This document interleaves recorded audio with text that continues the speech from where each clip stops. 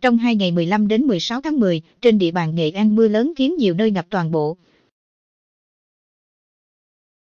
Tại thành phố Dinh, mưa lớn liên tục không ngớt khiến nhiều tuyến đường bị ngập sâu trong nước. Ngập sâu nhất gồm các tuyến đường đại lộ 32, Đinh Công Tráng, Trần Phú, Quang Trung, Nguyễn Thị Minh Khai. Ngoài ra còn ở phường như Bến Thủy, Hà Huy Tập, Lê Mau, Quang Trung.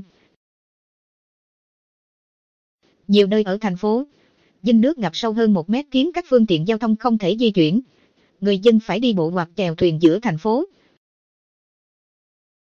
Dưới nhà cao tầng có hầm, người dân dùng bị cát chắn nước và máy bơm công suất cao hút nước ra để tránh ngập các phương tiện xe bên trong.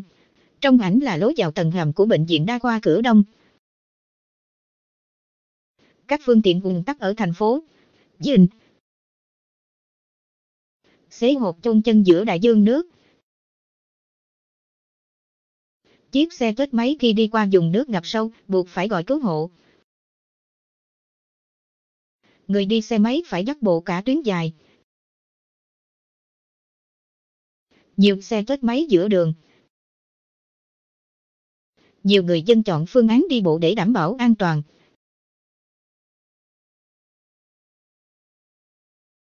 Nước ngập ngang cửa sổ tại một khu phòng trọ. Nước ngập nghé mé giường đơn vị chức năng dùng xuồng máy đi trên các tuyến đường nước sâu cung cấp người dân khi cần thiết. Cơ quan chức năng dùng xuồng giúp người dân di chuyển. Phụ huynh ở trường tiểu học Hưng Dũng một phải dùng thuyền kéo con đến trường và kéo con về nhà. Người con trai dùng cả chõng tre để lên phao làm bè di chuyển trên đường phố.